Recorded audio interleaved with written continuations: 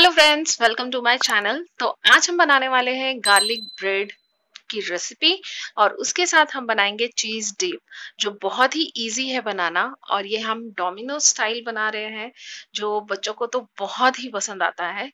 ये रेसिपी बहुत ही सिंपल है। तो चलिए बनाना स्टार्ट करते हैं। तो यहाँ पे मैंने एक कटोरी में लिया है मक्खन। ये अमूल का मक्खन है मतलब अमूल बटर है, जो सॉल्टेड है। अगर आप घर का मक्खन इस्तेमाल कर रहे हो तो उसमें जरा सॉल्ट इस्तेमाल कीजिएगा। यहाँ पे मैंने पाँच से छह कलिया लहसुन की खीस के लिए और एक चम्मच मैंने मिक्स्ड हर्ब लिया है। और दो चम्मच फ्रेश धनिया पत्ता। उसी के साथ ही हम यहाँ पर डालेंगे एक चम्मच चिली फ्लेक्स। मेरे पास चिली फ्लेक्स नहीं था तो मैंने घर के रेड चिली को ही कूट के चिली फ्लेक्स बनाया है। आप चाहे तो इस तरीके से भी इस्तेमाल कर सकते हैं या फिर आपके पास चिली फ्लेक्स है तो आप उसकी भी इस्तेमाल कर सकते हैं। तो इसे अच्छी तरीके से मिक्स कर लीजिए। तो ये हमारा गार्लिक बटर स्प्रेड रेडी हो गया। तो चलिए इसे साइड में रखते हैं। यहाँ पे मैंने मैंने लिया है चार पीस लिया है मैंने ब्रेड का। पहला पीस में मैं यहाँ पे ये लगाने वाली हूँ। गार्लिक बटर का जो हमने स्प्रेड बनाया है, वो हम अच्छी तरीके से फैला देंगे। वैसे तो हमें चारों ब्रेड में यूज़ करना है, लेकिन अभी एक ब्रेड में हम वो बटर लगाएँगे। और दूसरे ब्रेड के स्लाइस में हम इतना मतलब चीज़ स्प्रेड कर देंगे अच्छी तरीके से। अच्छी तरीके से फैला दीजिए। आप चाहे चीज़ स्प्रेड का भी इस्तेमाल कर सकते हैं। अब एक पैन गरम कर लेंगे। पैन गरम होते ही साथ हम जो बटर वाला जो पार्ट है, जो हमने स्प्रेड लगाया है, वो हम नीचे करेंगे उसका। सॉरी यहाँ पे डालते समय बहुत सारा चीज़ हम मेरे पैन में गिर गया है। लेकिन डोंट माइंड क्योंकि ऑलरेडी मैंने बहुत सारी चीज़ डाले हैं। तो ऊपर के जो पार्ट है, उसमें हम गार्लिक ब्रेड का मतलब गार्लिक बटर जो हमने बनाया था, वो हम स्प्रेड कर लेंगे अच्छी तरीके से।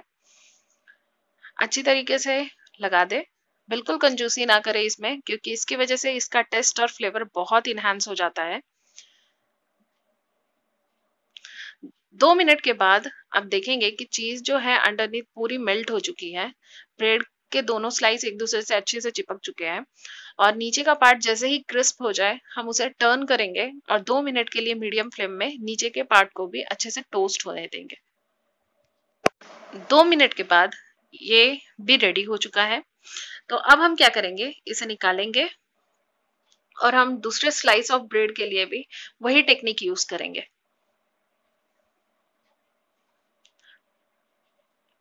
ये हमारा दूसरा स्लाइस ऑफ़ ब्रेड है। तो इसके लिए भी हम यही टेक्निक इस्तेमाल करेंगे और हमारा दो cheese bread cheese garlic bread ready हो चुका है। तो चलिए हम यहाँ पे चीज़ डिप बनाएँगे। उसके लिए यहाँ पे मैंने लिया है सॉल्टेड बटर एक चम्मच। उसमें हम डालेंगे एक चम्मच मैदा। इसे हम अच्छी तरीके से भून लेंगे। हमें भूनना इसे इसलिए है ताकि इसका जो कच्चापन है वो निकल जाए, ताकि हमारा जब चीज़ें डीप हम खाएँगे तो हमें मैदा का कच्चापन फ्लेवर टेस्ट नहीं आना चाहिए। जैसे ही ये भून जाए, हम इसमें 60 एम मतलब 60 एम यहाँ पे हम दूध डालेंगे। दूध मैटर नहीं करता, आप गाय का डालें या बफेलो का डालें, लेकिन 60 एम दूध डालेंगे और इसे हम अच्छी तरीके से मिक्स करेंगे ताकि इसमें कोई लम्स ना रहे। जैसे ही लम्स सारे हट जाएँगे गुटलियाँ सारी निकल जाएगी इसकी, वैसे ही हम इसमें दो चम्मच चीज़ डालेंगे। कॉमनली इंडिया में मोजरेला चीज़ बहुत ही आसानी से मिल जाता है। तो मोजरेला चीज़ ही है ये। तो इसे अच्छी तरीके से मिक्स करेंगे। और जैसे ही हमारा चीज़ मेल्ट हो जाएगा तो मैं इसके फ्लेम को ऑफ़ कर दूँगी। तो ये देखिए, हमारा चीजी डिप रेडी हो गया।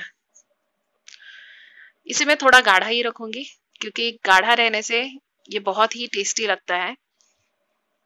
तो चलिए चीज़ डिप तो हमने निकाल लिया। उसी के साथ ही हम यहाँ पे निकालेंगे गार्लिक चीज़ ब्रेड ये देखिए, कितना चीजी है अंदर से। तभी ये थोड़ा ठंडा हो गया है। तो इसे जितना हो सके उतना गर्म ही सर्व करें। और एज अ ब्रेकफास्ट हो या एज अ स्नैक्स हो या फिर टिफ़िन बॉक्स के लिए रेसिपी हो तो ये तीनों चीज़ के लिए एकदम परफेक्ट है। गेस्ट के लिए भी तो बहुत परफेक्ट रेसिपी है। तो होप आपको ये रेसिपी हमारी बहुत अच्छी लगी होगी।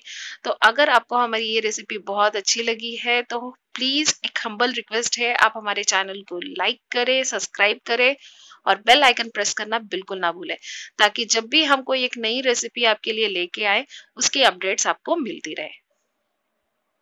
तो ये तो बहुत ही टेस्टी बना है। आप भी ज़रूर ट्राई करें और हमें कमेंट सेक्शन में ज़रूर बताएँ कि आपकी रेसिपी कैसी बनी। Thanks for watching